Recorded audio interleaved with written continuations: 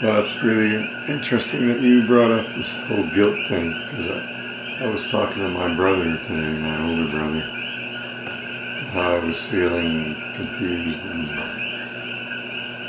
going through all this stuff about what to do. He says, this is my very Catholic brother. He says, I think you, I'm going to go out on a limb here. I'm going to tell you that I think you have a guilt problem. and, I, thought, guilt, hmm. You know, and he goes on and tells me all these things that I've done in my life that I should probably feel guilty about, right? And the only thing I could think of was, at, at most, I might feel regret. But I feel like whatever I've done, if it didn't, you know, fit with what most people would say is, is good, I did the best I could in that moment, and I'm okay. I, you know, I, I learned from it, or whatever. You know, you go back and think about these things and then feel guilty about them. There's, there's no reason to feel guilty. You do the best you can. You know, in that moment, maybe I just wasn't clear and I did what most people would say the wrong thing. But I don't see it that way.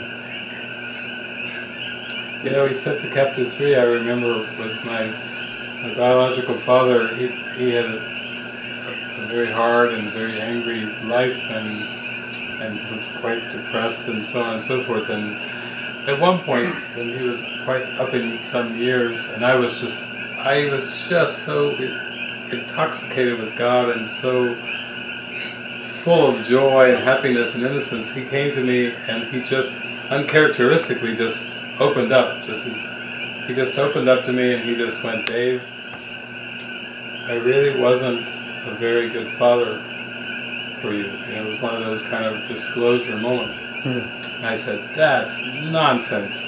I said, you did the best you could do. I did the best that I could do. And we don't have to play this guilt game anymore. And from that moment, just from that moment, his life just lit up. Hmm. He, you know, he had been on medications for, you know, depression. He lit up. He lit up like a child in joy. He, he had been having some fear, anger issues, and he, he lit up. He, he started going to nursing homes, like three, four, five nursing homes a day. Not visiting not only his mother, but all these other people just to cheer people up.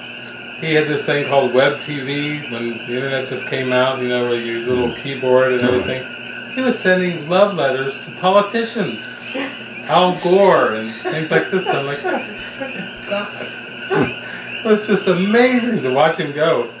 And of course, he'd been di diagnosed as bipolar, manic depressive, so the biological mother and the biological sister said, oh God, he's gone into one of these, you know, bipolar swings. he's manic. They said he's manic. I said, no, he's not. He's, he's lit up in God. He's He's been healed. because there's no depression there. It's just he's like a rocket going up. And that I watched him, but I do recall that thing where Dave, I wasn't a very good father, and me just saying, not for one instant do I believe that, and and said the same thing you just said. You did the best you could do. I did the best, and we just we just lit up.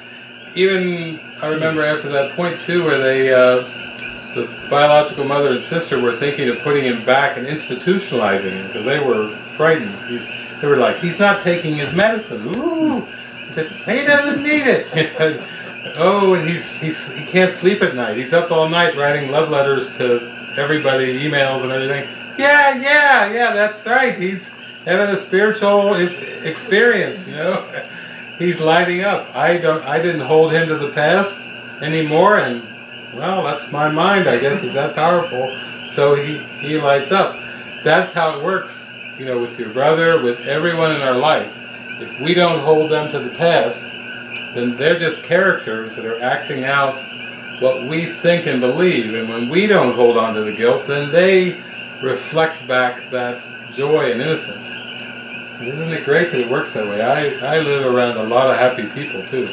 Mm. I go, and I know a lot of very happy people all over the world, because, and I'm not even surprised by it anymore. It's like, oh yeah, they're just reflecting my my own happiness. It's just the way that it works.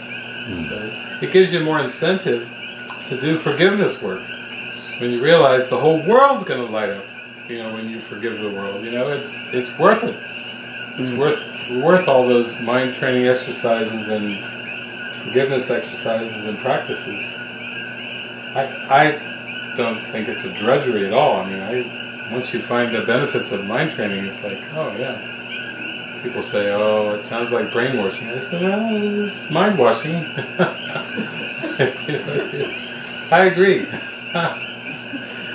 But rather than learning, it's like an unlearning, right? Yeah, yeah. It's like learning how to unlearn. That's it. That's what when people come to community, it's just a willingness to unlearn everything. And it, and that does take some trust and willingness because the old habits are so anchored in there. You know, we, we think there's our survival mechanisms. We think those old conditioning patterns are help protect us, but they actually closed us down. You know, they kept us in denial and repression. And then we get into the miracle, and it takes away all that. It just washes it away. And so I studied psychology and philosophy. I studied a lot of that, but then it was the actual experience of doing the workbook lessons and Mhm. giving myself fully over to them. Then that's where the transformation occurred. And it's fun. We we have a joyful relationship in God with the whole universe because it's there's much to celebrate. There's much to rejoice in in the miracle, and you don't have to keep hacking away at analyzing the past and you know trying to figure it out. I mean, ah, dream analysis. You know, people would come to me. Can you do some dream analysis with me? I oh, I really would rather not.